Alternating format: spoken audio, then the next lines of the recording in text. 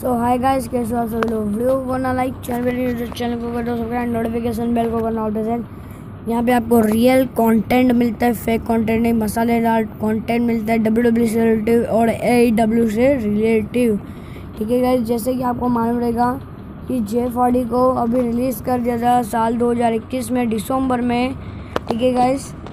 तो वो live event में मतलब हल कॉगन का नशा कर गए थे, तभी उनको रिलीज़ कर दिया डब्ल्यू डब्ल्यू वालों ने।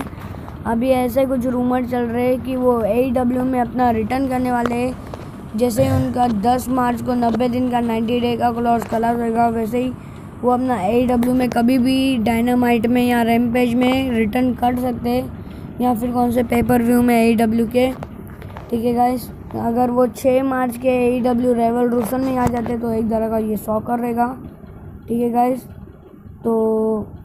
तभी इनको रिलीज़ कर दिया वीडियो अच्छी नहीं की तो वीडियो को लाइक चैनल को सब्सक्राइब करना। ये कंफर्म है, दस मार्च को इनका नब्बे दिन का नाइन्टी डे का क्लॉज कला रहेगा तब तक लिए